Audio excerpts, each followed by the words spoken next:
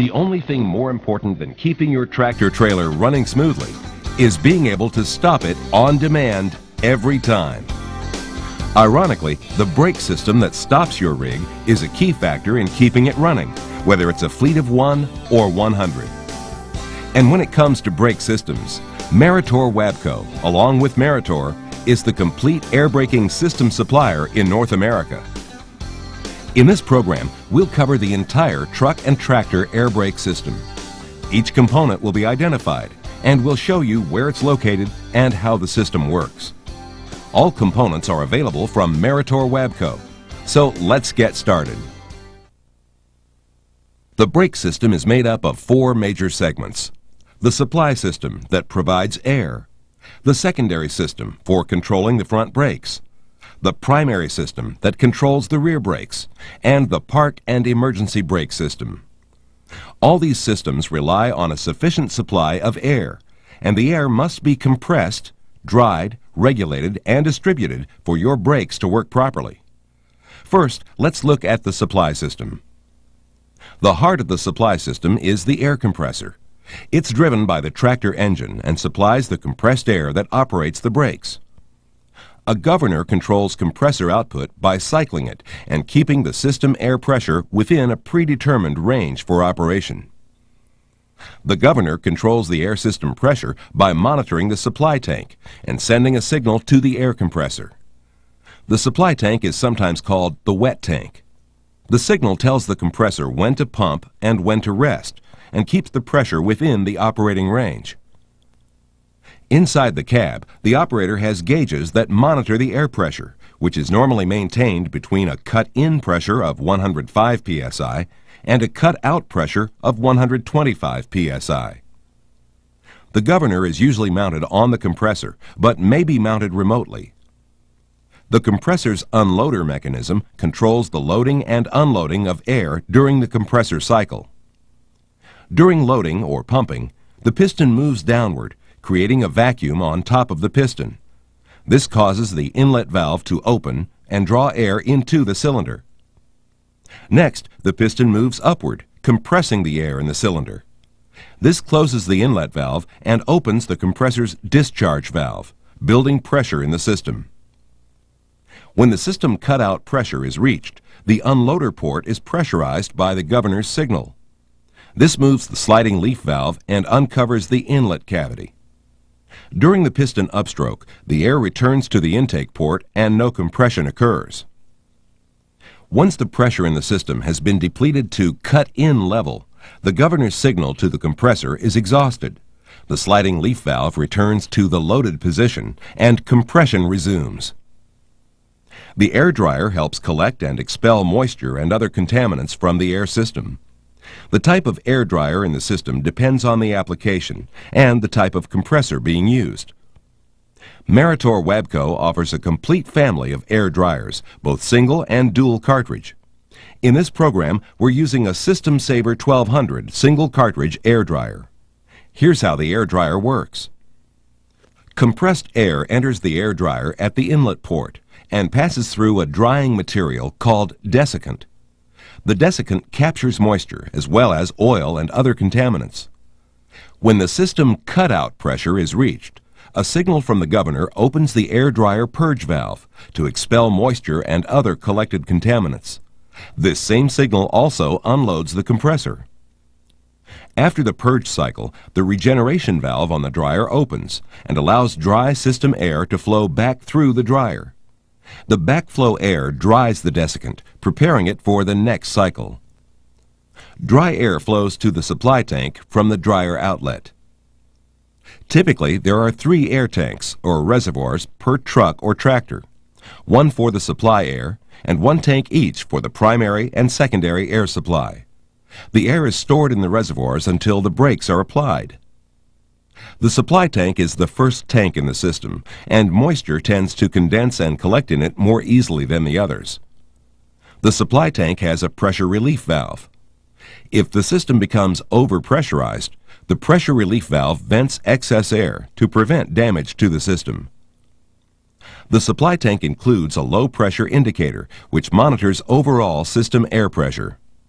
If pressure falls below 60 psi, an alarm will sound to notify the operator of a low pressure condition.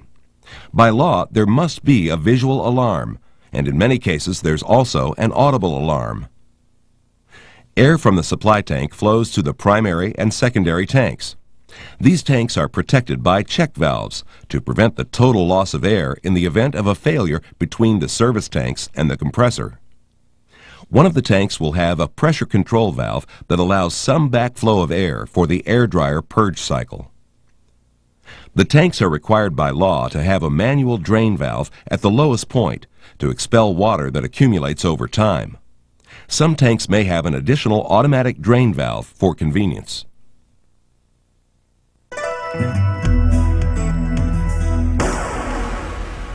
Now, let's take a look at the secondary and primary systems.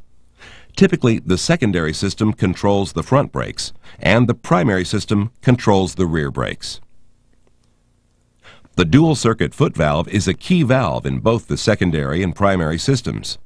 It's a dual circuit valve because it separates and controls the primary and secondary brake circuits. Dual circuit systems are required by law to protect the braking system from complete failure. When the brake pedal is depressed, air from the secondary tank flows through the secondary portion of the dual circuit foot valve to a quick release valve and applies pressure to activate the front brakes. A quick release valve speeds up brake release time by exhausting air near the actuated brake. The air does not need to travel back through the system. The exhaust function of the quick release valve is activated when the driver lifts his foot off the pedal and air flows back from the air chambers to the exhaust port. At the same time, air from the primary tank flows through the primary portion of the dual circuit foot valve to a relay valve and applies pressure to activate the rear brakes. Always check the crack pressure rating of a valve before you replace it, and be sure the replacement has the same crack pressure value. The harder you push on the foot valve, the more air the relay valve allows through to activate the brakes more aggressively. Relay valves help minimize delays in brake actuation. They quickly direct air from the tanks to the brake they serve and use input from the foot valve as their signal to activate. Relay valves can be ordered with various activation or crack pressure values.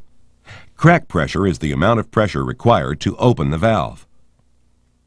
The foot valve also delivers air to a two-way check valve that separates front and rear brake pressure and allows the dominant pressure to operate the stoplight switch.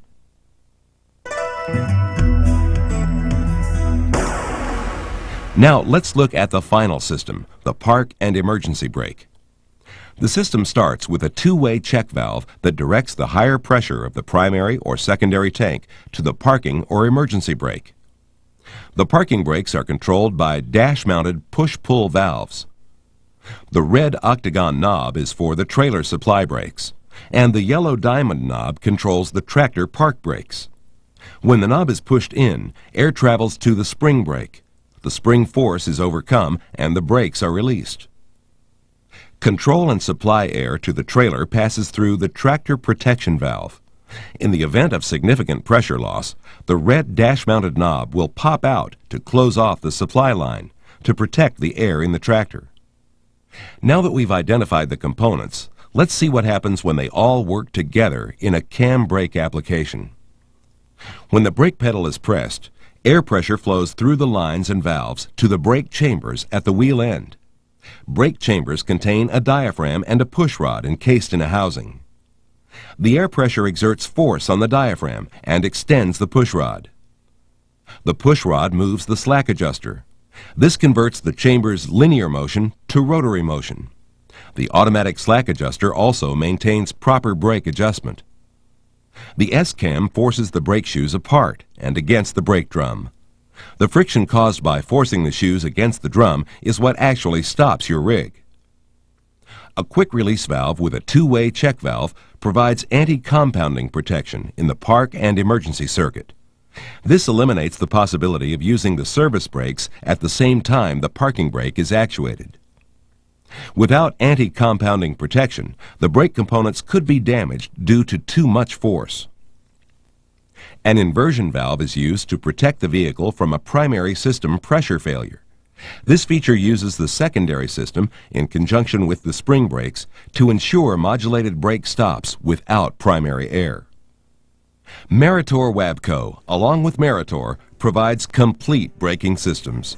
All of our components are designed and manufactured to provide reliable service for the long haul.